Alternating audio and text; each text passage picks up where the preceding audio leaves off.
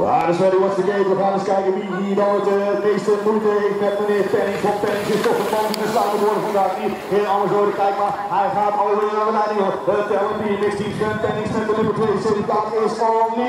En in mee de beste man vanuit uh, de wiels. Dat zou zomaar eens de visser kunnen zijn. De visser misschien op die tweede positie. Maar er zijn meer kenbaartjes hoor. Even kijken wat er gaat gebeuren voor namens is uh, Pennings. Hij gaat hier de winst pakken. Dat lijkt me toch wel overduidelijk op de tweede plek. Over het podium. Wessel Visser. En hij neemt vervolgens weer met zich mee de zinvolle Elkaat, de nummer 3 van vandaag, Colin van Zoetberg.